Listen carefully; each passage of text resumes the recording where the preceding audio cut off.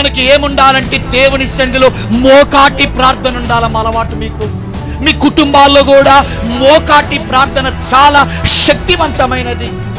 దేవుడు తొందరగా చూసే ప్రార్థన ఏంటంటే మోకాటి ప్రార్థన.